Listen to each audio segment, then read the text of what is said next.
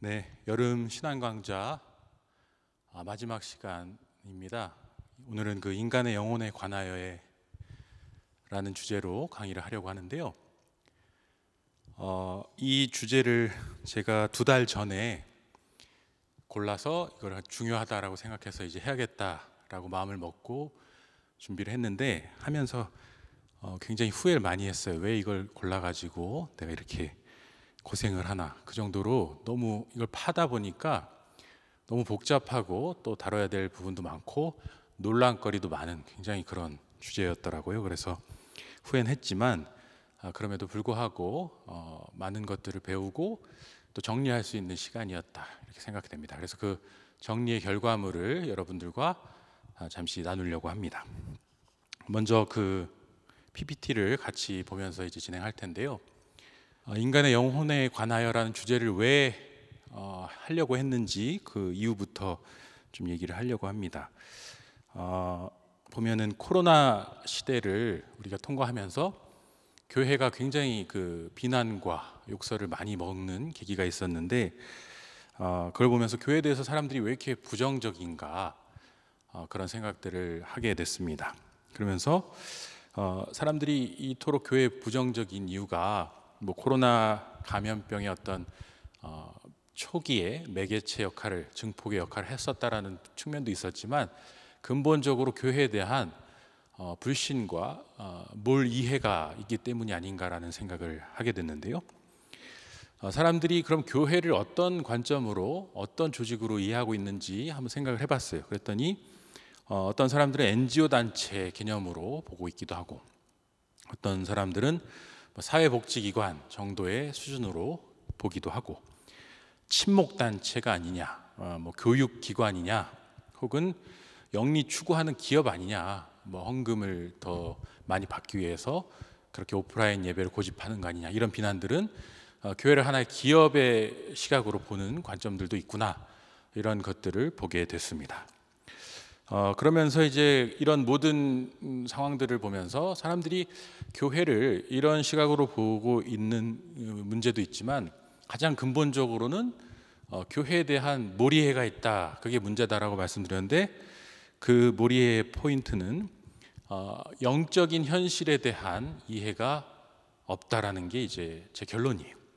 세상은 교회를 영적인 실체로 보지 않는다. 영적인 세계를 이해를 하지 못하기 때문에 교회가 뭐하러 어, 존재하는가에 대한 답을 찾을 수 없는 것입니다. 영적인 세계를 인정 안 하는 사람들은 교회를 인정하지 않게 되고 교회에 대한 비난이 크면 클수록 그건 뭘 반증하고 있는 거냐면 세속화가 점점 심해지고 있다. 즉 영적인 세계를 부정하고 물질적인 세계만 어, 집중하는 그 근본적인 세계관으로 세상을 바라보는 세속화된 시각이 이 시대를 점점 지배하고 있기 때문에 그게 증폭되면 증폭될수록 교회에 대한 부정적인 시각과 핍박은 어, 더 커진다. 이게 지금 제가 생각하고 있는 결론이. 그래서 이 강의를 이제 하려고 하는 것이죠. 어, 교회가 그러면은 나아가야 될 방향이 무엇인가? 교회의 본질적인 힘을 되찾아야 되는 것인데, 교회의 본질적인 힘은 무엇인가? 어, 아까 말씀드린 것처럼 영적인 세계에 대한 이해다. 영적인 세계에 대한 이해가 있어야 되는데 영적인 세계는 뭘 말합니까? 그거는 천국과 아, 지옥 뭐 이런 눈에 보이지 않는 영원 이후의 삶의 세계를 말하는 것이죠. 또 이 땅 위에 존재하는 하나님의 나라 아, 그것을 의미하는 것이기도 합니다. 또한 영적인 현실, 예, 영적인 현실을 spiritual reality라고 말할 수 있는데 어, 하나님께서 예수님께서 우리에게 천국이 너희 안에 있다라고 하셨죠. 그래서 천국이라는 리얼리티가 우리 속에 있다. 그리고 이 세상 속에 있다. 영적인 세계는 실제적인 세계다라는 것을 강조하고 있습니다. 그러니까 교회가 영적인 현실을 어, 반영해 줘야 되고 영적인 세계가 실제한다라는 것을 보여줘야 이제 그 교회 본질적인 힘이 다시 회복된다라는 것이죠. 그리고 그런 의미에서 이제 우리가 어, 집중해야 될 힘이 있다면 그게 바로 이제 영성이라는 것입니다. 네. 영성을 회복해야 된다. 교회가 스피리추얼리티, 어, 영성을 회복할 때 교회의 근본적인 힘이 회복된다. 우리 여태까지 세속의 방식으로 교회의 힘을 정의하려고 했어요. 교회가 어, 세상 속에 더 많은 권력자들을 배출하고 더 많은 부자들을 배출하고 고지로 올라가서 세상에 강한 영향력을 발휘하면 교회가 이제 힘이 세질수록 세상이 이제 교회를 우러러보고 어, 많은 사람들이 주님께 돌아올 거라고 생각했는데 실질적으로 그게 아니라 교회는 어, 물질적 세계를 뛰어넘는 영적 세계의 권능을 보여줄 때 교회로서 어, 그 힘을 회복할 수 있다라는 것입니다. 그러니까 물질적 힘을 키울 게 아니라 영적인 힘을 키워야 되는데 영적인 힘을 잃으면 잃을수록 교회는 어, 물질 세계 속에서 오히려 조소를 당하고 비난을 당하며 이제 뒤로 처질 수밖에 없게 된다라는 것입니다. 그러니까 이 강의의 포인트는 뭡니까? 어, 영성을 회복해야 된다. 영성을 잘 이해하고 영성을 더 우리가 키워야 된다라는 것을 말하려고 하는 거죠. 그래서 어, 이 질문인데요. 영적인 세계가 우리에게 주는 효용성이 무엇인가? 이 왜 이런 질문을 했냐면 이 효용성이라는 단어가 개념이 이 시대의 많은 사람들에게 통용되는 개념이거든요. 그러니까 쓸모죠, 쓸모, 유익. 그러니까 내가 이 시대의 수많은 사람들은 나한테 뭔 도움이 되는지, 어, 무슨 이익이 있는지에 따라서 행동하고 결정을 한단 말이에요. 근데 많은 젊은이들이 이 시대의 젊은이들이 교회를 떠나는 이유가 무엇인가? 교회가 효용성이 없다고 판단하는 것입니다. 가봤자 내가 얻을 게 없다. 아, 도움이 안 된다. 아, 그러니까 교회가 필요가 없는 거예요. 어, 단순하게 설명하면 그렇습니다. 아, 그러니까 교회가 나한테 필요하면 올 건데 필요가 없는 거예요. 어, 교회가 뭐 도덕적으로 타락하고 윤리적으로 타락해서 그런 거는 그냥 표면적인 이유고 딱 까놓고 얘기하면 쓸모가 없는 거예요. 어, 그런데 그러면 제가 이제 그런 영적인 현실에 근거해서 교회의 쓸모, 교회의 어, 효용성이라는 개념으로 한 열가지 정도를 추려봤어요. 그러면 교회가 무슨 필요가 있어서 오라고 할 수 있을 것인가? 어, 그래서 먼저 우리는 아는, 아는 거지만 한번 정리를 해보겠습니다. 어, 지상의 세계는 일시적인 삶이고 천국 본향에서의 삶이 영원한 삶이다. 이게 이제 교회의 가르침이죠. 어, 지상의 세계, 당신들이 지금 살고 있는 이 세계는 어, 일시적인 것이고 끝이 있다. 그리고 죽음 이후에 당신들은 어, 영원한 세계가 기다리고 있는 걸 모르고 있는데 영원한 세계가 사실은 실제하고 있고 그게 진짜 삶이다라는 것을 가르쳐 줘야 됩니다. 이걸 모르고 있어요. 두 번째, 모든 사람들은 지상에서 저지른 죄에 대한 심판을 영원한 지옥에서 받게 됩니다. 그런데 그리스도인은 그 모든 죄에서 용서함을 받고 지옥의 형벌로부터 면제된다. 이게 우리가 어, 받고 있는 특권이고 복음의 권능인데 사람들이 이거를 모르고 있죠. 지옥의 실제를 부정하죠. 그러니까 지옥에 갈 일이 없다고 생각하니까 교회에 갈 필요도 없고 천국에 갈 필요도 없고 쓸모가 없는 거예요. 하지만 지옥이 실제한다면 영원한 삶이 실제한다면 영원한 심판이 기다리고 있다면 그들은 어, 당장이라도 교회에 와서 어, 새로운 생명을 얻기 위해서 애쓰게 되겠죠. 그러니까 문제는 그들이 이 영원한 세계에 대한 실제한다라는 인식이 없기 때문에 쓸모없다라고 생각하고 있다라는 거예요. 하지만 우리는 이것을 알고 있습니다. 세 번째로 영적인 복과 물질적인 복, 즉 복이라는 개념입니다. 교회는 어, 교인들에게 복을 줍니다. 복을. 그게 바로 하나님이 주시는 복이죠. 그러니까 히브리어로 바라크, 복. 교회는 복을 공급하는 곳입니다. 그러니까 와서 기도하고 함께 예배하고 하면서 뭘 바랍니까? 하나님이 주시는 은혜, 하나님이 주시는 복을 구합니다. 그건 굉장히 성경적인 것인데요. 이 바라크란 단어에는 어, 다 의미가 있어요. 어, 모든 측면에서의 좋은 것들을 다 가리키는 단어가 바라크입니다. 그래서 물질적인 측면에서는 건강, 부, 장수, 뭐 자손이 많아지는 것, 권력 그리고 모든 좋은 것들을 먹고 마시며 누릴 수 있는 어, 그런 힘. 그래서 모든 물질적인 최고의 것들을 누리는 복을 하나님이 주십니다. 두 번째는 영적인 복인데 이 영혼 이게 이제 중요해요. 영혼이라는 게 있다라고 믿는 사람들은 영적인 복이 중요하다는 거 알아요. 하지만 어, 물질 인간이 물질 덩어리일 뿐이다라고 생각하면 영적인 복을 추구하지 않죠. 하지만 성경 우리에게 어, 영혼이 있고 영혼이 복을 누려야 된다라고 말하죠. 그게 바로 영적인 복인데 그게 뭡니까? 하나님이 주시는 영혼의 평안함, 어, 두렵지 않고 평안하고 불안하지 않고 우울하지 않고 근심 걱정으로부터 해방되고 하나님이 나와 동행한다라는 확신 속에서 누리는 기쁨, 음, 당당함, 자족함. 이거는 세상이 줄 수 없는 기쁨이죠. 물질이 줄 수 없는 때로는 아무리 많은 물질을 갖고 있어도 이 영혼이 흔들리고 영혼이 필요하면 그 물질을 어, 누릴 수가 없어요. 불안 때문에 잠도 못 잡니다. 그러나 어, 성경은 하나님이 우리에게 영혼의 복을 주신다. 영적인 복을 주신다.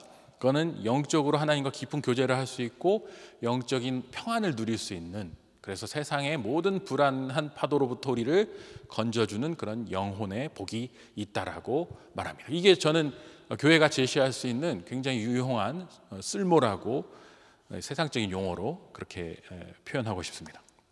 그 다음에 하나님의 보호와 인도하심 이거 별거 아닌 것 같이 생각하는데 이 어, 망망대해 같은 세상 속에 외롭고 고독하고 어디 기댈 데 없고 의지할 데 없는 수많은 외로운 사람들이 어, 가장 찾는 게 뭡니까? 어, 나 내가 기댈 수 있는 어떤 존재 아닙니까?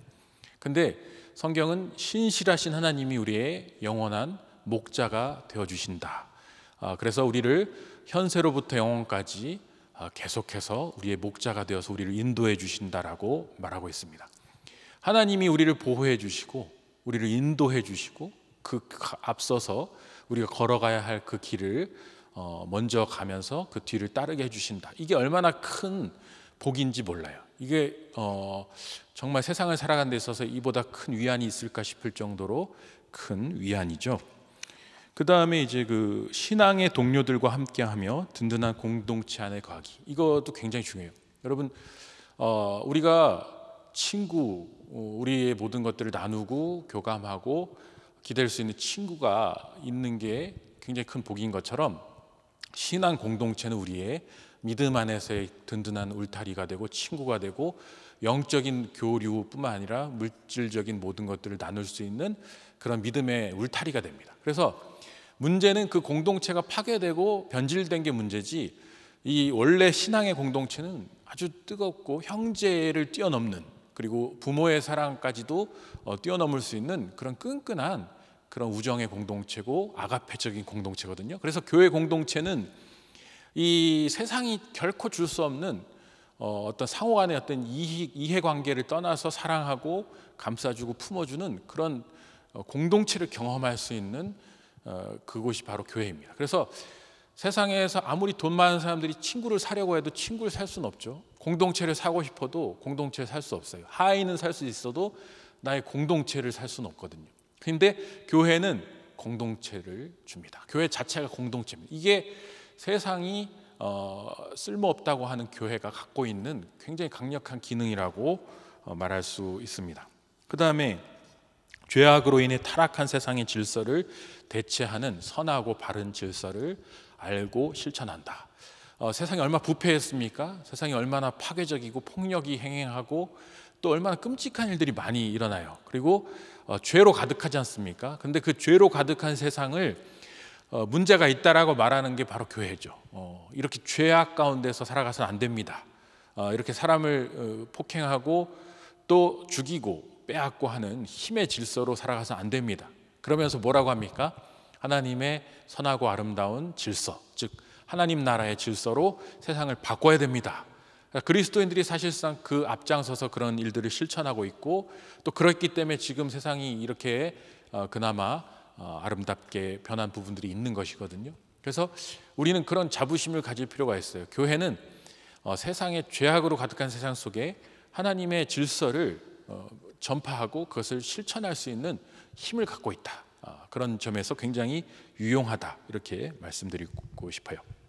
그다음 이것도 굉장히 중요한데 죄와 상처, 실패로 가득한 사람들이 와서 그리스도 안에서 온전한 존재로 회복되는 것. 회복되는 것. 여러분, 이 세상은 한번 실패하고 뭔가 상처를 받고 떨어져 나가면 회복이 힘들어요. 아무도 그들을 거두어주지 않습니다. 실패자, loser. 그럼 도태되는 것입니다. 예, 적자 생존이죠. 그래서 정글처럼 그냥 그냥 죽어 나가는 것이 아무도 신경 써주지 않습니다. 그러나 교회는 가장 어, 심각한 악을 저지른 사람이라도 또 세상에서 모든 끈이 끊어진 정말 아무 것도 갖지 않은 빈손으로 오는 사람일지라도 또 어, 정말 크나큰 실패로 인해서 가족에게 버림받은 사람일지라도 교회는 다 그리스도의 사랑으로 받아줍니다. 그리고 그들이 어, 모든 무너진 부분들로부터 회복될 수 있도록 돕습니다. 그게 교회의 본질입니다. 그러니까 이런 이런 기관이 어디 있어요? 세상에 그 어떤 조직도 이런 죄인들을 품고 실패한 사람들을 품어서 restart 다시 시작할 수 있게 그들을 어, 이렇게 보듬어 줄 수 있는 조직은 없다라는 것입니다. 교회만이 이 일을 할 수 있어요. 그러니까 이런 거를 못 하고 있는 교회들이 있다면 그 교회 본질로부터 벗어나서 그게 문제지 원래 교회 본질은 이렇다라는 것을 지금 말씀드리고 싶습니다. 그 다음에 이제 하나님의 말씀을 배운다. 이것도 굉장히 중요해요. 어디 가서 여러분이 성경을 배울 수 있겠어요? 성경 이제 좀 이따 제가 성경을 가지고 영혼에 대해서 설명할 텐데 어디서 그것을 가르칠 수 있겠습니까? 예, 성경의 권위자가 있고 신학의 권위자가 있고 어, 교회 모든 전통에 학습이 어, 이루어져 있는 교사가 있는 곳, 제대로 된 성경의 가르침을 줄 수 있는 곳, 어, 거기가 바로 교회입니다. 이단들은 이것을 흉내만 내면서 자기들끼리 어, 아주 입맛대로 각색을 해서 하고 있지만 제대로 된 정통 교회는 어, 정확한 하나님의 말씀에 대한 지식을 제공할 수 있습니다. 그 다음에 하나님 안에서 건강한 영성을 줄 수 있는데요. 그게 왜 중요한지 말씀드립니다. 인간의 영혼을 평안하게 하고 몸의 건강과 삶의 복을 조화롭게 누릴 수 있게 한다. 이게 중요해요. 아까 물질의 복이 주어진다고 했는데 물질의 복이 아무리 많아도 그걸 누릴 수가 없는 사람들이 많거든요. 근데 그걸 누리려면 어떻게 되면 영혼이 같이 건강해야 돼. 그래서 영성이란 무엇이냐? 영혼과 육체의 모든 복을 같이 누릴 수 있도록 균형을 잡아주는 게 바로 영성이에요. 쉽게 이해하려면 그러니까 영성이 투철할수록 물질 세계의 복도 잘 누리고 영적인 복도 잘 누리는데 영성이 희미하고 이제 그 힘을 잃어갈수록 영성이 타락할수록 물질적인 쪽으로는 방종으로 가서 쾌락에 완전히 빠져서 내 육체를 거기에 소진하게 되고 영적으로는 피폐해져서 불안하고 근심하고 우울하고 잠도 못 자고 계속 약에 의지해야 되는 상황으로 가게 된다. 그 다 왜 문제가 생기냐면 영성이 건강하지 않기 때문인데 그렇다면은 교회는 건강한 영성을 제공함으로써 그 영성을 어, 획득할 수 있도록 그 가이드함으로써 세상에 기여할 수 있는 것이죠. 어, 육체적인 어, 그리고 정신적인 피폐해진 수많은 세상의 사람들을 건강한 균형 잡히고 조, 조화된 삶으로 인도할 수 있다. 그럼 교회가 유익한 측면이라고 말할 수 있습니다. 어, 하나님 안에서의 어, 그 다음에 세상을 일시적으로 지배하는 공중 권세 잡은 자 사탄 악한 영의 유혹과 공격으로부터 보호받을 수 있다. 이걸 사람들이 많이 어, 놓치고 있는데 이 세상은 성경은 공중의 권세 잡은 자들, 사탄 마귀들이 악한 영들이 지배하고 있다라고 계속해서 선언하고 있습니다. 근데 이제 우리 눈에 보이지 않으니까 아유 뭐 사탄이 어디 있어, 마귀가 어디 있어, 악한 영이 어디 있어 그러는데 실질적으로 성경은 악한 영들이 공중의 권세 잡은 자들이 엑수시아라고 하거든요. 그 권력이라는 단어인데 그러니까 이 하나님의 영으로 무장되지 않은 권력자는 반드시 그 권력을 남용해서 독재하고 파괴하고 또 자기의 이익으로 그것을 끌고 오는 악한 도구로 엑수시아를 쓰게 돼요. 그게 그 악한 영들의 지배를 받기 때문이거든요. 그러니까 건강한 영성을 갖고 건강한 엑수시아를 활용하는 사람은 세상을 아름답게 통치하고 조화롭고 지배 어, 질서 있는 방식으로 만들어갈 수 있는 것입니다. 분열과 시기와 적대와 전쟁이 아니라 조화와 평화. 즉 하나님의 아들들은 평화의 피스메이커가 되는 것처럼 그게 바로 하나님이 주시는 복이고 우리가 누리고 있는 복이고 우리가 갖고 있는 어, 영적인 어떤 효용성이라고 말할 수 있습니다. 그러니까 이건 그냥 어, 제가 열 가지를 이런 식으로 정리를 해봤어요. 그 이유가 뭐라고 말씀드렸죠? 이렇게 어, 세상이 우리한테 쓸모 없다고 하는데 교회가 뭐하러 존재하느냐, 교회가 뭐하러 있, 는 거냐라고 하는 사람들에게 이런 측면들에서 교회는 당신들을 위해서 존재해야 하고 있고 이런 것이 하나님이 주시는 복이고 이런 복들을 누려야만 합니다라는 것을 우리는 어, 계속해서 말할 수 있다라는 것을 정리를 해봤어요. 그러면 이제 어려운 주제로 가게 됩니다. 영혼 이, 이 모든 것들 하려면 인간이 영혼을 갖고 있다라는 전제가 있어야 되거든요. 그래서 물질 세계와 어, 영혼의 세계, 영적인 세계가 있다라는 게 지금 계속 얘기를 했고 인간 안에도 이 몸이라는 육체 어, 물질과 어, 영혼이라는 어떤 실체 그게 같이 존재하고 있다라는 것을 우리가 인정을 해야 된다라는 것이죠. 근데 이게 왜 중요하냐면 지금 점점 세상은 영혼이 없다라고 하는 추세가 강해요. 그래서 뇌과학이나 또 물활론자들이 하는 걸 보면 인간의 어떤 정신 작용이나 영혼이라고 우리가 믿어왔던 모든 것들이 사실은 화학 작용, 뇌의 화학 작용에 불과하고 전기 자극이나 화학적인 어떤 자극을 통해서 영혼이라고 생각했던 것들이 겪었던 경험들을 줄 수 있다라는 것이거든요. 그래서 뭐 이렇게 전극들을 설치하고 거기 자극을 주면 뭐 하나님 체험도 할 수 있고 또 사후 세계도 경험할 수 있고 뭐 영적으로 막 고양된 느낌도 줄 수 있다라는 게 이제 뇌과학자들이 하고 있는 주장들이에요. 근데 저는 어, 영혼이란 그렇게 물질적인 것으로 대체될 수 없다라는 게 성경의 가르침이고 우리가 믿고 있는 신앙의 핵심이라고 말하고 있기 때문에 어, 이게 굉장히 중요한 주제라고 생각하는 겁니다. 어, 영혼은 성경에 이제 이렇게 돼 있어요. 그 soul 영어로 soul로 번역이 종종 되고 히브리어로는 네페시라고 어, 그 단어를 번역을 영혼으로 하고 푸시케 헬라어로는 푸시케라는 단어를 영혼으로 번역을 합니다.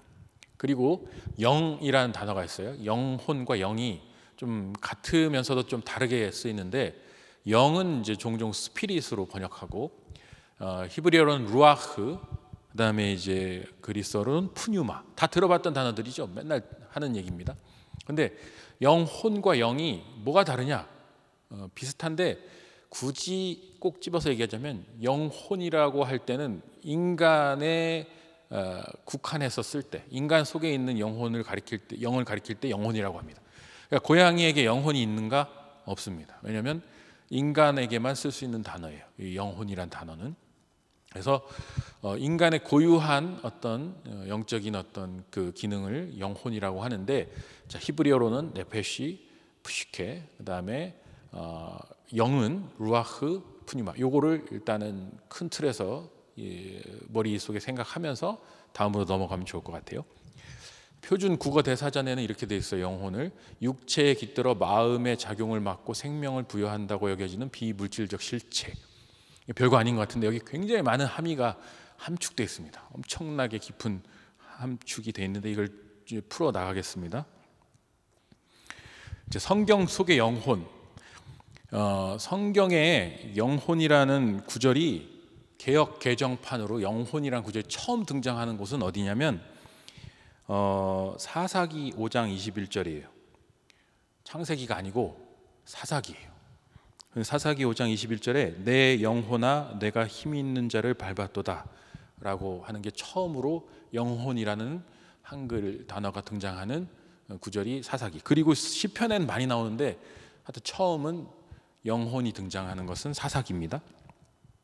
근데 여러분 궁금하지 않습니까? 창출, 레민신 앞에 모세오경에 어떻게 영혼이라는 단어가 한 번도 안 나옵니까?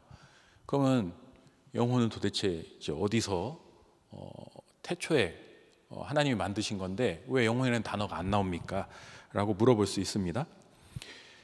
창세기 2장 7절에 이제 하나님이 생기를 그 코에 불어 넣으시니 사람이 생령이 된지라 2장 7절에 그렇게 돼 있거든요. 근데 그 생령이 된지라 할 때 그 생령이라고 번역된 단어가 어, 네페시 똑같은 영혼으로 번역된 단어거든요. 그래서 같은 네페시라는 단어가 창세기 2장 7절에 처음 나오는데 거기서는 생령으로 번역됐고 사사기 5장에 와서야 영혼으로 번역이 됐는데 왜 같은 단어를 생령으로도 번역하고 영혼으로 번역합니까? 왜 그걸 둘 다 영혼으로 하지 않습니까? 그게 이제 골치 아픈 질문이에요. 음. 그 골치가 굉장히 아파요. 이 강의가 여러분들을 굉장히 골치 아프게 할 텐데 어, 그래도 최대한 명쾌하게 정리해 드리도록 노력을 하겠습니다. 어쨌든 어, 시편 23편 3절에 내 영혼을 소생시키시며 이거는 네페시 즉 생령이라고 번역된 네페시와 사사기 5장에 나오는 그 네페시 시편 23편 3절에 내 영혼을 소생시키시며 할 때 그거 다 똑같이 네페시예요. 그 다음에 이제 마태복음 10장 28절에 보면 몸은 죽여도 영혼은 능히 죽이지 못하는 자들을 두려워하지 말고 오직 영혼을 능히 지옥에 멸하실 수 있는 이를 두려워하라. 여기서 나오는 그 마태복음 10장 28절의 영혼은 푸시케예요. 아까 앞에 보면 어, 영혼을 가리킬 때 헬라어는 푸시케라고 한다고 했습니다. 영을 가리킬 때는 푸뉴마를 한다고 했습니다. 여기 푸시케예요. 그 다음에 마태복음 27장 50절 예수께서 다시 크게 소리 지르시고 영혼이 떠나시니라. 그러면 원래 영혼으로 번역했으니까 이게 원래 푸시케로 해야 되잖아요. 근데 이거는 푸뉴마예요. 그 푸뉴마와 푸시케가 딱 정해서 인간에게만 딱 이렇게 푸시케 이건 푸뉴마 이렇게, 이렇게 쓰이질 않는다. 그게 굳이 법례를 많이 따지면 거의 푸시케로 쓸 때는 인간의 영혼을 말한 거고 푸뉴마는 성령 혹은 어떤 영적인 실체를 가리킬 때 푸뉴마를 쓰는데 예수님이 돌아가실 때는 영혼이 떠났다고 했지만 푸뉴마로 쓰였어요. 그건 뭐 예수님께서 신적 존재이기 때문에 그렇게 쓰인 건지 전 잘 모르겠습니다만 어쨌든 푸시케와 푸뉴마가 같이 쓰이고 있다. 그리고 요한복음 4장 24절 음, 하나님은 영이시니 예배하는 자가 영과 진리로 예배할지 우리 아주 유명한 구절 있죠. 근데 여기는 하나님은 영이시니 할 때 영이시니는 푸뉴마 예배하는 자가 영과 진리로 예배한다고 할 때도 푸뉴마예요. 그러면 원래 예배하는 자는 인간이니까 영과 진리로 할, 예배할다고 할 때 영은 푸시케로 번역해야 되는데 푸뉴마로 번역됐다는 건 뭡니까? 어, 인간이 갖고 있는 어떤 영적인 모든 음, 고귀함으로 어떤 성령의 어떤 교감과 인간의 영적 어떤 실체의 교감으로 예배가 이루어진다. 어, 영이신 하나님과 인간의 영이 교통한다. 그러니까 인간 안에 푸시케도 있고 푸뉴마도 있고 때로는 푸시케로도 쓰이고 푸뉴마로도 쓰이는데 굳이 푸시케로 쓰일 때는 인간의 영혼을 가리키는 게 더 많고 푸뉴마는 조금 더 넓은 의미다. 이렇게 정의할 수밖에 없어요. 왜냐하면 이렇게 수많은 다른 용례들 속에 어, 이런 번역이 상이한 부분들이 많기 때문에 여러분은 이거를 어, 떻게 이해하셔야 되냐면 인간 속에 있는 어떤 영적인 실체가 영혼이 푸시케 혹은 푸뉴마다. 그런데 어, 그 푸뉴마는 성령을 가리키는 것이기도 하고 하나님이 영이시라고 할 때 그 영적인 실체를 가리키는 것이기도 하다. 그러니까 이 푸시케와 푸뉴마는 육체와 구분되는 어떤 영적인 것이다. 그건 확실히 지금 구분되고 있죠. 어, 그 다음에 요한계시록 6장 9절에 보면은 죽임을 당한 영혼들이 재단 아래에 있다. 어, 천국에 요한이 가서 이제 보니까 거기 죽임을 당한 영혼들이 있어요. 푸시케. 그건 또 푸시케예요. 근데 여기서 중요한 거예요. 여기 지금 이 요한계시록 6장 어, 9절이 굉장히 중요합니다. 영혼이 죽으면 어디에 가는가? 아, 천국에 있다라는 걸 지금 계시록이 보여주고 있죠. 죽은 영혼들이 그러니까 죽임을 당한 영혼들, 육체는 썩고 영혼들은 지금 천국에 가서 그 영혼들이 재단 아래, 하나님의 재단 아래 있다. 그 영혼 푸시케를 본 거예요. 육체가 없는 아, 것을 말해주고 있습니다. 자 보면 볼수록 신기하죠. 그 이게 영혼을 이제 수많은 영혼이라는 구절들이 있는데 제가 지금 핵심되는 구절들만 뽑아서 여러분들께 소개해 드렸습니다. 그 다음에 영혼이란 무엇인가 좀 더한 어, 걸음 더 들어가 보겠습니다. 인간 존재를 영혼 육으로 나누는 3분설이 있어요. 그리고 어, 영육으로 보는 2분설이 있습니다. 그래서 영혼 육으로 할 때 굳이 혼을 넣을 때는 지성을 구분하는 거예요. 누스라고 해서 이제 푸뉴마와 누스를 구분하는 겁니다. 그러나 어, 교회 대세는 교회 전통의 대세는 그냥 이분설로 이해하시면 되겠어요. 그래서 영육으로 구분돼 있다. 근데 우리가 어, 장로교 어, 시조라고 할 수 있는 칼빈이 기독교 강요에서 이런 말을 했습니다. 영혼이라는 말은 불멸적이면서도 창조함을 받은 실제를 의미하며 이것은 인간의 보다 고귀한 부분이다. 아, 이게 굉장히 중요한 내용입니다. 이 영혼을 설명하는 굉장히 중요한 어, 잣대다. 여기 불멸이란 단어가 나오죠. 임모탈. 그러니까 이, 이 영혼은 불멸한다. 칼빈은 영혼은 불멸한다라고 주장하고 있습니다. 그러면 이게 무슨 말이냐면 육체는 썩지만 영혼은 썩지 않는다라. 그럼 어디로 가느냐? 아, 아까 계시록에 나온 것처럼 하나님의 나라에 간다. 그리고 창조함을 받은 실제다. 즉 영혼은 하나님 전부터 있던 게 아니고 하나님이 창조한 실제다. 우리의 영혼은 하나님이 창조하신 거예요. 그리고 이제 이게 중요하고 헷갈리는 부분인데 인간의 보다 고귀한 부분이다. 이게 음, 굉장히 이제 논란이 많은 구절이 되는 것입니다. 어, 보다 고귀하다고 할때그 뭐보다 고귀하다는 거죠?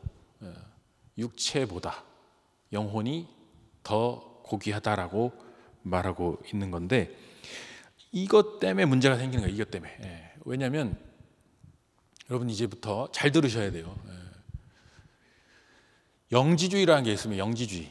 어, 초대교회 이단, 그 신약 성서에 계속해서 나오는 이단인데 영지주의에 대한 수많은 그 논의를 할 수 있지만 이거와 관련해서 그냥 딱 간단하게 정리해 드릴게요.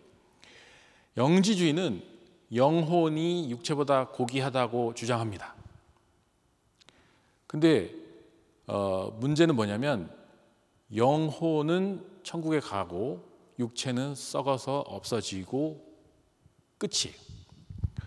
육체가 다시 부활하지 않는다고 주장해. 그게 영지주의예요. 영혼만 천국에 가 있는 거예요. 왜냐하면 영지주의는 육체와 물질을 부정하고 더러운 것으로 보거든요. 그래서 이, 육체 세계, 물질 세계 다 없애버리고 불태우고 영, 영혼만 살아서 이렇게 천국에 있어야 된다고 주장하는 게 영지주의. 근데 그 근거가 뭐냐면 영혼이 육체보다 고귀하기 때문에 고귀한 존재만 뛰어가면 된다는 거예요. 육체는 버리면 된다. 이게 이단이라는 거예요. 이거가 문제가 돼요. 이거는 기독교 가르침이 받아들일 수가 없습니다. 왜냐하면 예수님 부활하셨을 때 그 육체로 부활하셨잖아요. 그래서 어, 제자들과 떡을 나누고 물고기를 구워 먹고 그리고 나를 만져보라고 했잖아요. 예수님 부활을 육체로 하셨는데 영지주의는 그 그걸 부정하는 거잖아요. 심지어 영지주의는 그게 이제 가현설이라고 하죠. 가짜다, 가짜. 홀로그램 같은 거라서 예수님 육체가 진짜 있는 게 아니고 영적인 어떤 거다 이렇게 설명하는데 요게 가장 중요한 포인트예요. 여러분 이, 기독교는 정통 기독교는 육체가 어, 영혼보다 이 그 불결하고 버려야 될 어떤 쓸데없는 거라고 하지 않고 같이 부활한다라고 말합니다. 그러면 칼빈이 지금 인간의 보다 고귀한 부분이라고 했을 때 이거 영지주의 아닙니까? 아, 그거가 아니고 육체가 갖고 있는 그런 게 아닌 지성과 의지와 마음, 감정, 즉 인간의 어떤 그 어, 어, 영혼의 활동, 마음의 활동을 하는 부분, 그런 기능을 담당하는 부분으로서 조금 더 고귀한 부분이 영혼이다라고 하는 거예요. 그러니까 어, 영혼만 고귀하고 육체는 천박하다라고 하는 게 아니고 영혼이 조금 더 어, 중요한 기능을 수행한다라는 차원으로 이해하시면 되겠어요. 인간에게만 있는 영혼, 이 흙과 생기의 결합으로 생명이 된 인간, 어, 살아있는 다른 동물과 구별되는 인간만의 고유성. 자, 인간이 동물과 구별되는 이유가 뭡니까? 아까 말씀드렸죠. 영혼이 있기 때문입니다. 그런데 어, 인간에게 영혼이 있기 때문에 하나님과 교감을 할 수 있어요. 그러니까 인격을 가지고 하나님과 대화하고 그게 기도죠. 그리고 하나님께 예배 드릴 수 있어요. 어, 동물은 예배를 드릴 수가 없습니다. 그래서 인간에게만 영혼이 있고 인간만 고유한 특성 갖고 있는데 그러면 그 근거가 뭡니까? 근거가 어떻게 인간만 영혼을 갖고 있다고 할 수 있습니까? 그게 바로 창세기 2장 7절에 어, 이거 제가 다 찾아보니까 결국 이거예요. 하나님께 직접 네샤마를 부여받아서 생명 네페시가 됐다. 다른 존재들은 네샤마를 받았어요. 생기. 그리고 네페시가 됐어요. 다 살아있는 존재가 됐습니다. 하지만 인간만 직접 넣어줬어요. 하나님이. 네. 흙으로 사람 만드시고 그 코에 생기를 불어넣었다라는 표현은 인간을 만들 때만 나옵니다. 이해되시죠? 아주 직접적으로 인간을 터치하면서 어, 아주 고유하게 인간을 만드는 장면이 나오는 거를 볼 때 이제 그 인간의 뇌폐시에는 영혼이 들어있다라는 거고 두 번째는 하나님의 모양과 형상을 따라서 지음받았다. 다른 존재는 그렇지가 않죠. 어, 인간만 하나님의 형상과 모양을 따라서 지음을 받았어요. 그래서 하나님의 형상과 모양 그게 어떤 어, 육체의 모습이기도 하겠지만 이 핵심이 영혼이라고 보는 것입니다. 음, 인간이 하나님이 갖고 있는 어떤 푸뉴마, 영적인 것들과 교감할 수 있는 이유는 하나님이 갖고 있는 영을 인간도 갖고 있기 때문이다. 그 영이 바로 영혼이다. 그래서 인간만 영혼을 갖고 있다. 형상과 모양으로 닮아진 인간만. 이 두 가지가 인간만 영혼을 갖고 있는 근거 어, 구절입니다. 자, 이, 제는 이제 그 이거에 대해서 조금 부연 설명으로 제가 잠깐 읽어드리겠습니다. 이게 어, 역사 속에서 굉장히 복잡한 논의 속에서 온 거기 때문에 교부들의 인간 이해는 주로 성서에 나타난 하나님의 형상 개념을 중심으로 이루어졌다. 리사의 그레고리오스는 인간이 하나님의 형상 또는 모양으로 창조되었다는 사실로 인해 인간이 다른 모든 피조물들과 구별된다고 말한다. 그러면 하나님의 형상이 의미하는 바는 무엇인가? 교부들은 인간 안에 하나님의 형상을 여러 관점에서 이해했다. 첫 번째는 인간 안에 하나님의 형상은 인간이 하나님을 알고 하나님과 관계를 맺을 수 있는 정신적 영적 존재라는 사실이다. 인간은 자연 세계 일부임에도 불구하고 다른 모든 피조물과 구별되는 특별한 존재다. 인간의 독특성은 인간이 정신 혹은 영혼을 지닌 존재라는 사실에 있다. 인간은 사물과 물질의 세계를 초월하여 정신적 영적 세계에 참여한다. 인간의 정신 또는 영혼의 고유한 특성은 무엇보다도 하나님을 알고 하나님과 관계를 맺을 수 있는 인간에 있다. 인간을 인간답게 만드는 것은 하나님을 알고 사랑할 수 있는 정신 또는 영혼의 활동에 있다. 자, 이 교부들이 계속 강조하는 게 그거죠. 인간에게 영혼이 있기 때문에 인간만이 하나님과 사랑하고 하나님과 관계를 맺고 하나님과 교류하며 하나님의 말씀을 듣고 깨달을 수 있는 거거든요. 그러니까 인간의 갖고 있는 영혼은 하나님과의 교류를 가능케 한다. 아, 영적 존재로서 또 있어요. 하나님의 형상에 포함된 또 하나의 요소는 영성이다. 하나님은 영이시다. 따라서 인간 안에 있는 이 요소가 하나님의 형상으로서 인간 안에 나타나는 것은 당연한 일이다. 이 점은 인간 창조 이야기에 잘 나타나 있다. 생기는 인간의 생명의 원리이다. 생령은 인간의 본질 그 자체를 지칭한다. 영혼은 몸과 연합해 있을 뿐만 아니라 몸에 적응한다. 그러나 영혼은 필요할 경우에는 몸이 없이도 존재한다. 따라서 우리는 인간을 영적인 존재라고 할 수 있으며 그런 의미에서 하나님의 형상인 것이다. 이 점과 관련하여 제기되는 질문은 인간의 몸도 형상의 일부를 구성하느냐 하는 것이다. 성경은 단지 인간의 영혼만이 아니라 인간이 하나님의 형상으로 창조되었다고 말하고 있으며 인간은 몸이 없이는 완전한 존재가 될 수 없다고 말한다. 자, 이게 벌코프 조직 신학 에서 이제 제가 인용한 건데요. 이 강의를 준비하면서 어, 주로 어, 본 텍스트가 이제 벌코프라는 조직 신학자가 쓴 조직 신학이고 또 윤철호 교수님이 어, 쓴 인간이라는 책 여기서도 인간 이해와 영혼 이해에 대해서 많은 부분들을 인용했습니다. 여기서 어쨌든 계속 같은 얘기죠. 어, 인간이 하나님의 형상으로 창조됐다는 것은 몸과 영혼이 다 하나님을 닮았다는 뜻을 계속해서 강조하고 있습니다. 잘 따라가면서 다음 보시겠어요. 그러면 인간이 그 영혼이 하나님을 형상으로 만들어졌는데 왜 그럼 문제가 생겼냐? 그 죄 때문에 그래 죄. 최초의 죄의 결과가 영혼에 끼친 영향은 인간 본성의 전적 타락, 인간의 몸과 영혼의 모든 권능과 기운이 손상, 이게 바로 그 어, 원죄가 갖고 있는 폐해죠. 그래서 성령을 통해 하나님과 교제를 나누는 삶을 상실했고 하나님의 형상이 상실됐고 참된 생명과 복의 근원으로부터 단절됐고 영적으로 죽었어요. 이게 이제 죄의 영향입니다. 그런데 그런 질문 할 수 있지 않습니까? 그 아담이 지은 죄를 왜 내가 그걸 책임져야 되느냐? 아우구스티누스가 이렇게 말했어요. 죄의 부패가 전이 된다. 아, 죄의 부패가 계속해서 유전된다. 전이 된다. 아담의 죄는 번식을 통해 전해지며 이처럼 아담의 죄가 전이 되는 것은 그의 죄에 대한 처벌이다. 연좌제죠, 연좌제. 어, 그 아담, 인류의 조상 아담이 지금 모든 죄가 대물림되는 거예요. 그래서 위거스라는 사람이 이렇게 표현하는데 온 인류의 본성이 부패한 것은 최초의 인간에 대한 의로운 형벌이었다.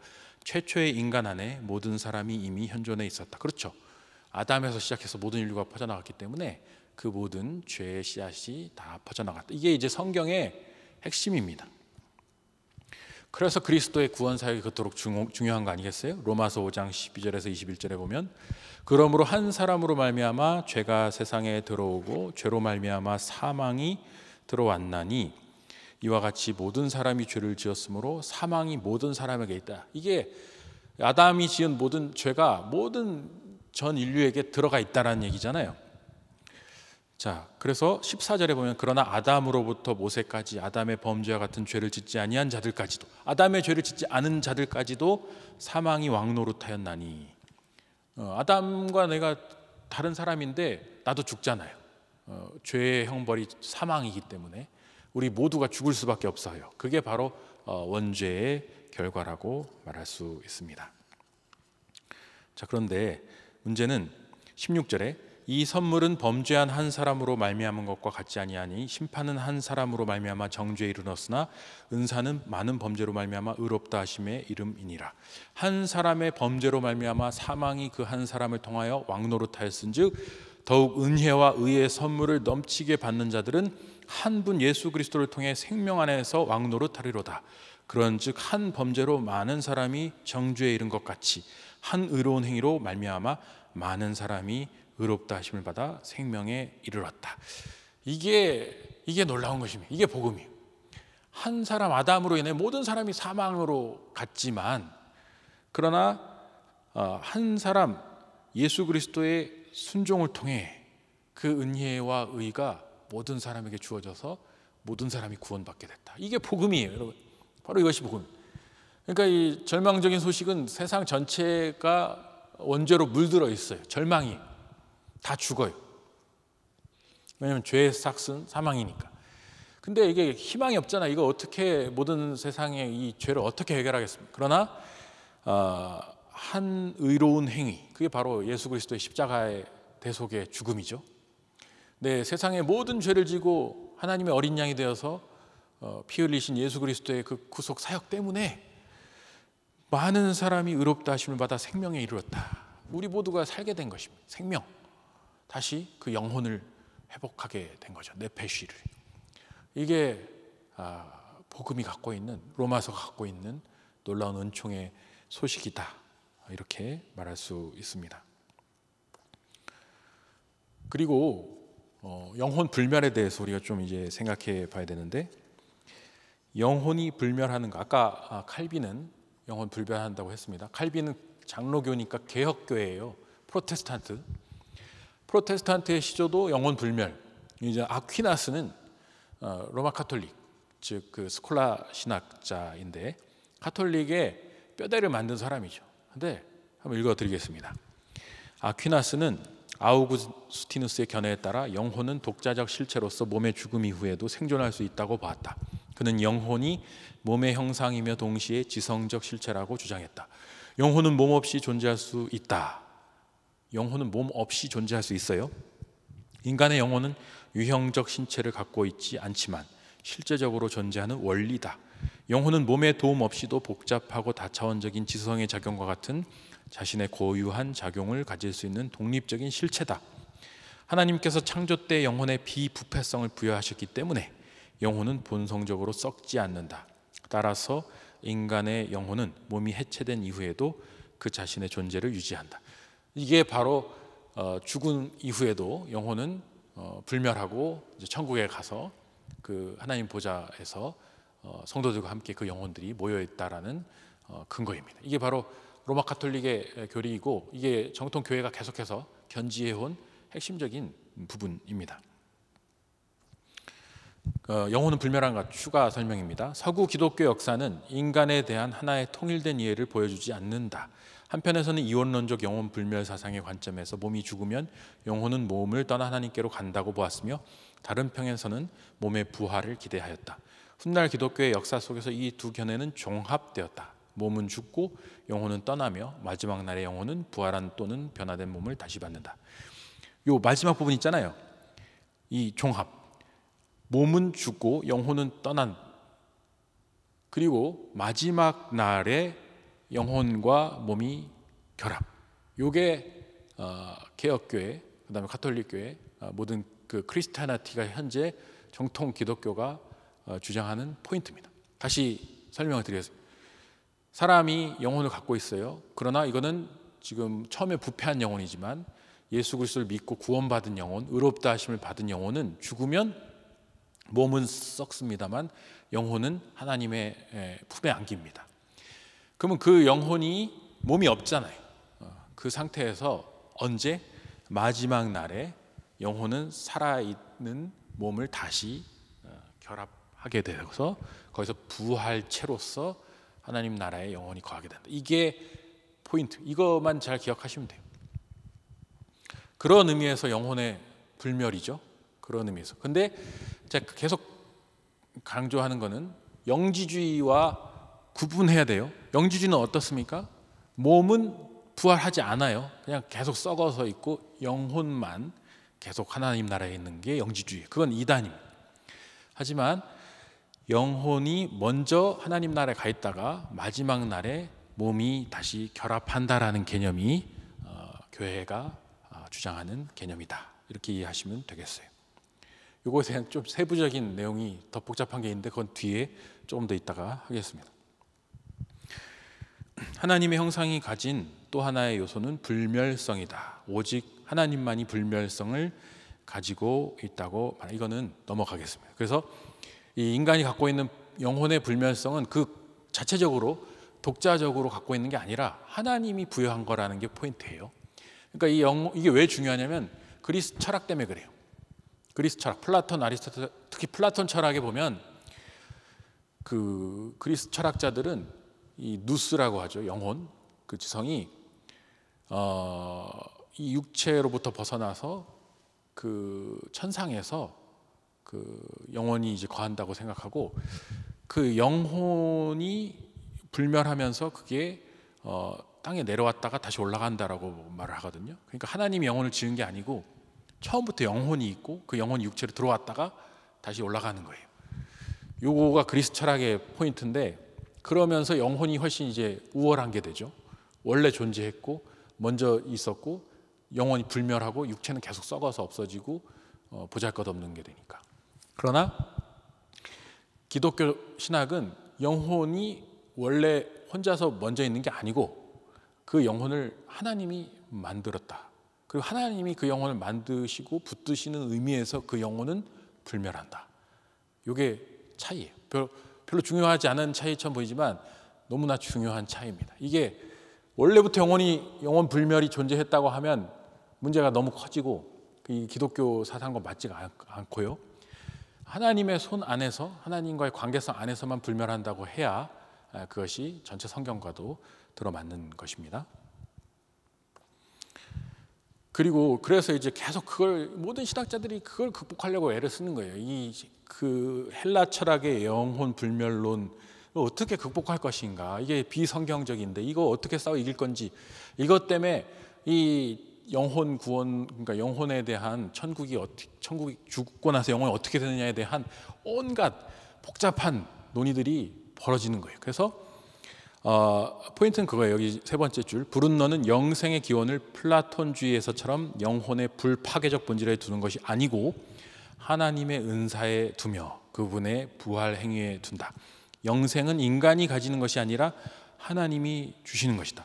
신약 성서가 말한 불멸은 하나님의 선물이다. 이게 이게 포인트예요. 이것만 기억하시면 돼요. 그래서 우리의 영혼이 불멸하는 거 오케이. 그러나 그것은 어, 하나님과 구분돼서 불멸한 게 아니라 하나님이 붙드시는 한에서 불멸하는 것이다.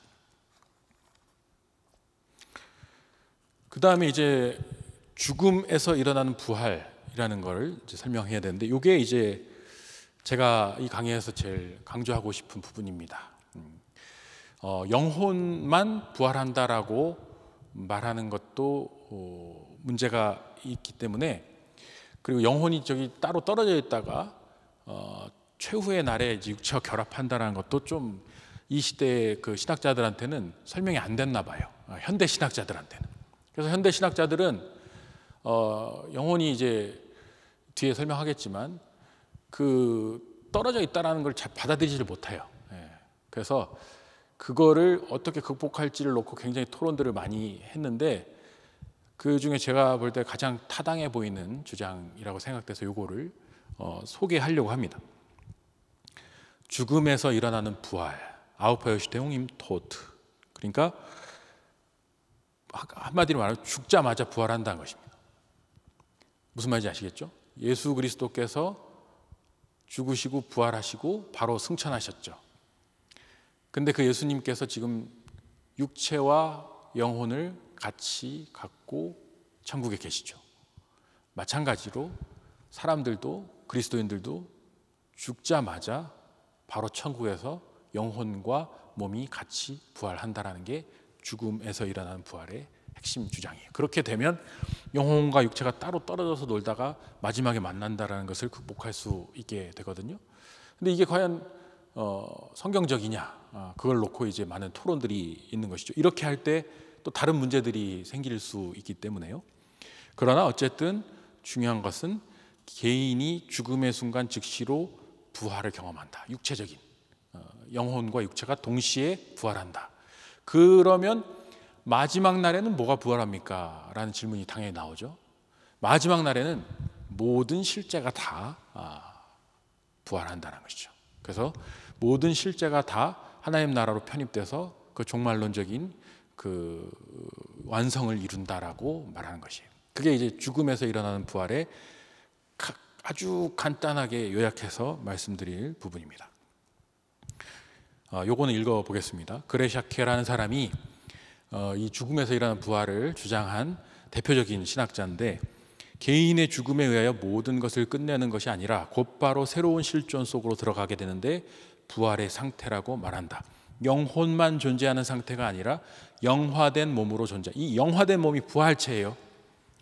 그레샤케는 이 부활 상태가 그것으로 자족한 상태가 아니라 전체 그리스도의 몸의 완성 속에서 궁극적으로 하나님과 함께하는 존재가 되기를 기다리는 상태임을 표현하고자 한다. 즉 어, 부활체로서 전체 그리스도의 몸은 전체 교회, 전체 성도 그리고 전체 이제 모든 구원을 받을 실제들을 말하는 건데 이게 마지막 날에 완성된다는 것입니다. 무지하게 어렵죠. 이게 신학자들의 표현들이 어, 굉장히 복잡하고 난해합니다만 제가 지금 최대한 단순하게 설명하고 있습니다. 용서하십시오. 그래 죽음에서 일어난 부활 그레샤케는 영혼 불멸론을 완전히 배격하는 것이 아니라 그것의 원래 의미를 발견하려고 노력한다. 그에 의하면 하나님의 부활의 능력 속에 영혼의 불멸이 포함된다라는 것이다. 영혼이 불멸하는 것은 영혼 불멸론이 말하듯이 영혼 자체가 불멸성을 갖고 있기 때문이 아니라 하나님의 부활의 능력이 죽음의 순간에 역사함으로써 영혼이 불멸하게 되었다라는 것이다. 정확히 말하면 영혼도 몸과 같이 죽지만 죽는 그 순간 부활하게 된다라는 것이다. 결국 그에 의하면 영혼이나 몸이나 죽는 순간 하나님의 부활의 능력으로 말미암아 새로운 실존 형태를 갖게 된다. 즉 죽자마자 영혼과 육체가 죽자마자 다시 부활체로 하나님 앞에 선다. 이게 죽음 안에서 일어난 부활의 핵심입니다. 이거가 이제 교육 요약이에요. 그러므로 우리는 그리스도 안에서 성도가 죽을 때 무슨 일이 일어나는가 말할 수 있다. 죽는 순간에 그는 부활한다. 이 세상에서 죽는 그 순간 그는 하늘에서 다시 살아난다. 그의 존재는 이 세상으로부터 하나님 나라로 순식간에 옮겨지는 것이다. 부활한 전인으로서 하나님의 나라에서 하나님과 함께 살다가 장차 역사의 마지막 날에 하늘과 땅, 곧 창조가 새롭게 변화될 때 영광스러운 모습으로 주님과 함께 나타나게 될 것이다. 죽은 성도가 중간 기간 동안 거하게 될 하나님의 나라는 십자가에서 예수께서 한 강도에게 하신 말씀, 오늘 내가 나와 함께 낙원에 있으리라고 하는 곳에서 발견할 수 있다. 이 낙원은 현세에 있지 않으나 장차 마지막 날에 파루시아와 함께 현세에 출현하게 될 것이다. 여기에 중간 상태, 중간 기간 이게 뭐냐면 죽고 마지막 날이 올 때까지 중간 그걸 중간기라고 부르는데 그 중간 상태의 영혼과 어, 육체가 부활체로서 낙원에 있다. 나와 함께 낙원에 있으리라. 그리고 그 낙원은 중간 상태에만 있는 거고 최후 심판의 때에 모든 게 회복될 때 그 낙원도 드러나면서 이제 모든 것들이 하나님과 더불어 영원한 삶으로 연결된다. 이게 이제 그레샤케의 주장이고 여기에 동조하는 신학자들도 꽤 많고 저는 이 부분도 굉장히 어, 타당하다라고 생각해서 소개를 하고 있는 것입니다. 이걸 지금 왜 소개하고 있는지 궁금하시죠? 어, 뒤에 가면 나옵니다. 예, 거의 다 나왔네요.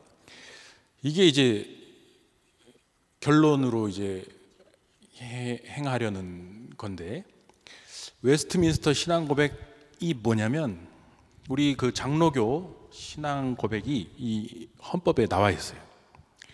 그 장로교는 칼빈이 만든 거잖아요. 그 칼빈의 기독교 강요 아까 읽어 드렸지 않습니까? 그 기독교 강요의 내용들을 요약한 거라고 보시면 돼요. 근데 그 여기 32장 사람의 사후 상태와 부활에 관하여 1항에 보면 영혼은 죽거나 자는 것이 아니라 죽지 않는 생을 가지며 죽은 후에는 그것을 주신 하나님께 돌아간다. 의로운 자의 영혼은 완전히 거룩하게 되며 가장 높은 하늘에 올라간다. 거기서 그들은 빛과 영광 가운데서 하나님의 얼굴을 보며 그들의 육신이 완전히 구속되기를 기다린다. 이게 여태까지 우리가 어, 계속했던 정통 어, 칼빈 이후로 어, 개혁교회와 로마 가톨릭교회 다 결국 이거에 근거해서 왔어요. 여기 핵심은 죽거나 자는 것이 아니다라는 건데 어, 많은 사람들이 어떤 영혼 수면살 같은 게 있는데 이 중간 상태라고 했죠. 이 죽은 후에 마지막 날에 이제 부활할 때까지 그 중간에 도대체 영혼이 어떤 상태로 있는 거냐. 근데 이제 마틴 루터 같은 사람은 잔다고 했어요. 영혼이 그때까지 자고 있다. 자고 있다가 최후 심판의 나팔이 울리면 깨는 거예요. 오. 근데 문제는 천국에서는 시간 개념이 없어요. 우리가 자는 잘 때 시간을 못 느끼는 것처럼 그게 몇 시간이 될지 몇 천 년이 될지 그 사람들한테는 잠깐 잔 거예요. 그 그게 설득력 있죠. 근데 그게 문제가 뭐냐면 그러면 자고 있다는 거는 하나님과 교류하고 있는 게 아니라 죽은 거나 마찬가지 아니에요. 예. 자고 있다는 거는 뭔가 이렇게 멈춰 있는 거잖아요. 그러니까 이게 문제가 되는 거예요. 그러니까 여기 지금 칼빈이 뭐라고 합니까? 자는 것이 아니다. 영혼은 자는 게 아니다. 영혼은 하나님과 교감하고 왜냐하면 영혼이 천국에서 지금 하나님과 찬양하고 예배해야 되거든요. 요한계시록에 나온 것처럼 재단에서 막 이렇게 어 저기 지금 우리 의로운 순교자들이 피 흘리는 걸 보면서 막 하나님께 신원해야 되고 거기 천국에서 활동하고 있어야 돼요. 근데 자고 있다면 어, 뭐 뭐가 말이 안 되잖아요. 그래서 자고 있는 건 아니다라고 했고 마찬가지로 영혼 죽는다라는 주장도 있어요. 영혼이 육체와 더불어서 어, 저기 영혼이 죽었다가 최후 심판 때 다 동시에 살아난다. 요게 이제 죽었다가 살아나는 건데 영혼도 죽는 거예요. 그 주장에 의하면.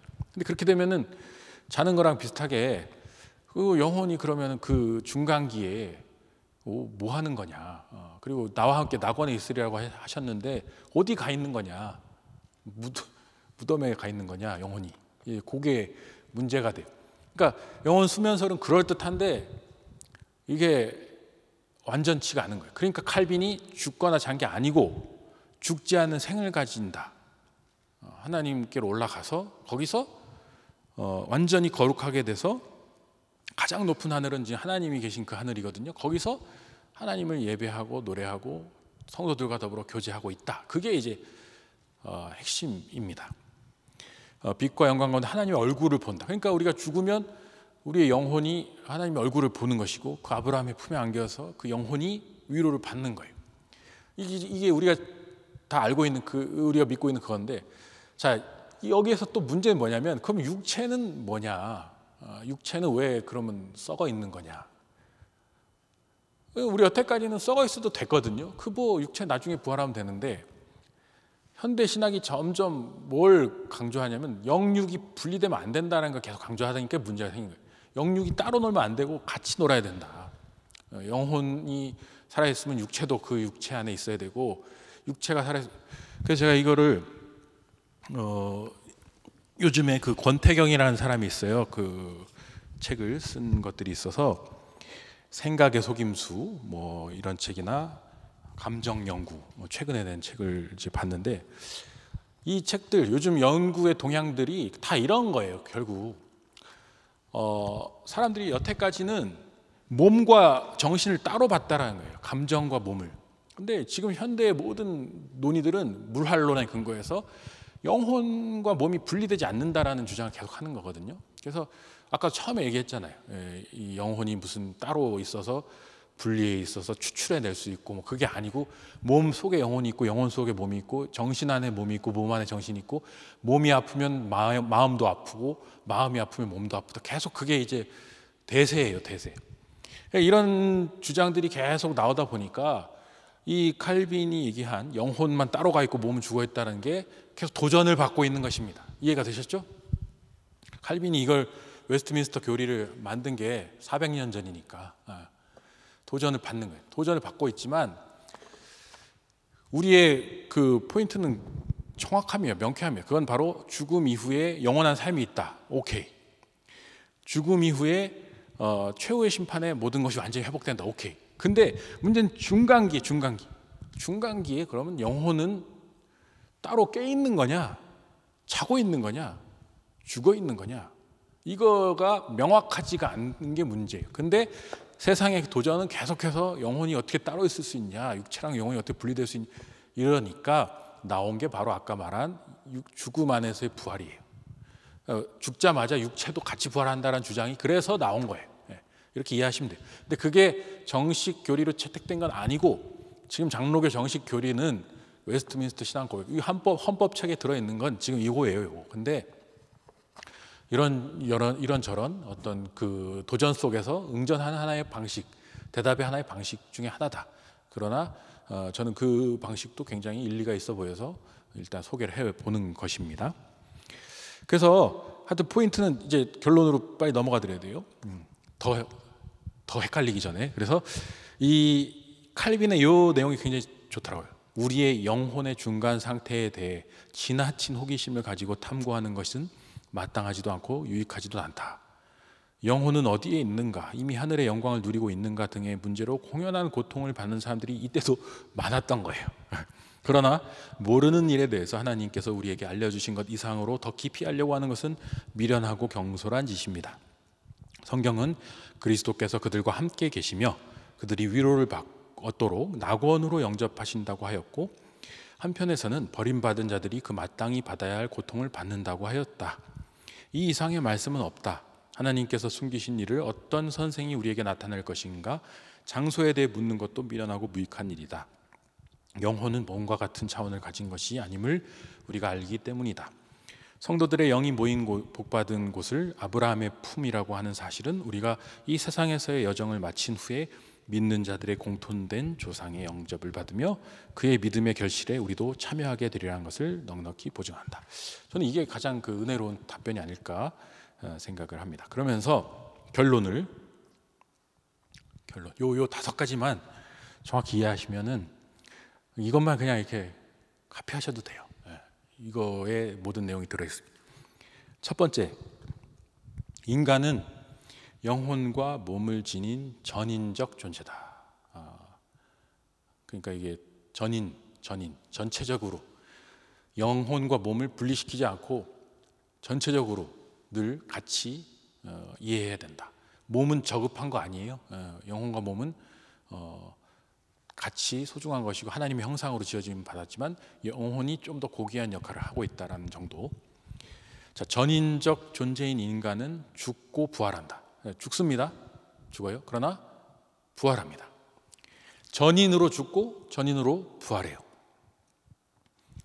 그러니까 최후 마지막 날에 우리는 어쨌든 간에 어, 전적으로 완전한 부활체로 주님과 더불어 영원한 삶을 누립니다.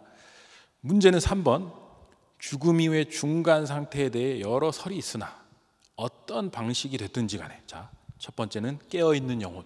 아까 말한 계속해서 하나님과 교제하고 예, 이해하고 예배하고 어, 기도할 수 있는 깨어 있는 영혼으로 있는가? 잠들어 있는가? 죽어 있는가? 뭐 그 여러 논의들이 있어요. 그러니까 영적인 육체는 그거예요. 죽자마자 바로 살아나서 어, 영육 그 온전한 전인체로서 부활하는가, 죽음 안에 부활하는가 여러 논의들이 있습니다만 죽음 이- 이후에 인간 존재는 살아서 하나님 품 안에 거하며 영원한 안식을 누린다. 어떤 방식으로 있든지 간에 확실한 거는 어, 죽자마자 낙원에 간다라는 것입니다. 음, 무슨 말인지 아시겠죠? 하나님의 아브라함의 품에 안겨서 낙원에 안겨서 그 하나님과 더불어 영원한 교제를 누리고 있고 그 잠들어서라고 주장도 있지만 또 죽어 있다는 주장도 있지만 어쨌든 하나님 품에 있다. 그리고 마지막 날에 깨어난다. 그래서 4번 최후 심판과 재림의 시기에 모든 실제하는 것의 구원이 이루어지면서 구원이 완성된다. 이게 영혼과 육체가 결합되는 것이 됐든 육체와 영혼이 부활한 상태로 살다가 전체와 만나는 것이 됐든 뭐가 됐든 마지막 날에 모든 것이 회복되는 구원의 시간이 옵니다. 그리고 5번이 제일 중요한 거예요. 원래 5번 얘기를 하려다가 이게 영혼을 하다 보니까 이게 뭐 해야 될 게 너무 많아가지고 이거를 더 어, 강조를 못했는데 제일 중요한 건 이거예요. 현세의 삶이 전부가 아니라 영원한 삶이 있음을 깨닫고 영성적인 삶을 추구해야 된다. 이게 포인트입니다. 그러니까 영원한 삶이 있다라는 거고 어, 영적인 세계가 있다라는 거고 죽음 이후에 우리가 하나님의 품에 거하면서 어, 영혼이 그 영원한 안락을 누리고 또 마지막 때 우리 육체도 같이 부활해서 어, 육체적인 현존으로 그 부활한 영적 영화된 몸으로 어, 모든 만물과 더불어서 새로운 영적인 삶을 살게 된다라는 것인데 그것이 실제임을 깨닫고 영성적인 삶, 즉그 어, 영과 육을 조화롭게 질서 있게 유지할 수 있는 그런 삶을 추구해야 된다. 즉 교회가 쓸데없다고 하는 사람들에게 지금 이 얘기를 하는 것입니다. 어, 뭔 헛소리를 하고 있냐? 뭐 눈에 보이지도 않는 세계들 그게 아니고 당신들이 쓸데없다고 비난하는 교회가 사실은 가장 궁극적인 진리, 가장 궁극적인 세계, 어, 가장 영원한 실제적인 어떤 어, 실체를 제시하고 있다.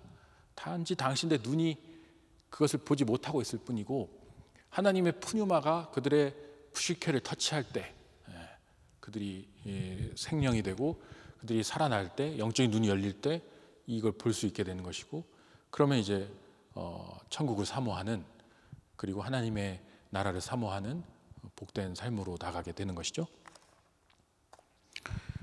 이 아우구스티누스 여러분 아시죠? 아우구스티누스 이 유명한 구절 있죠. 오 주님, 당신은 당신을 위해 우리를 지으셨습니다. 우리의 마음은 당신 안에서 안식을 얻을 때까지 평안을 모릅니다.